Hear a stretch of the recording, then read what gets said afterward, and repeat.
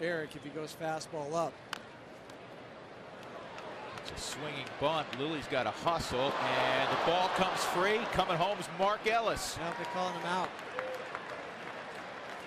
Well, they're saying that he was out of the baseline. Jim Tracy's going to come out and argue.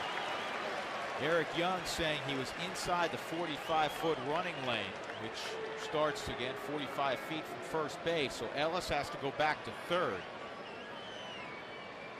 The call is made by Hunter Wendelstedt, the home plate umpire. Okay, once you get to that 45 foot line, you have to be on the outside part of the line. We'll take a look to see where Eric is. Yes, that was the right call by Hunter Wendelstedt. You have to be on the outside. You can only get within that last foot if you start outside.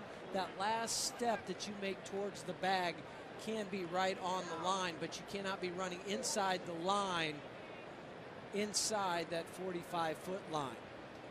He's running on the grass. That is the correct call.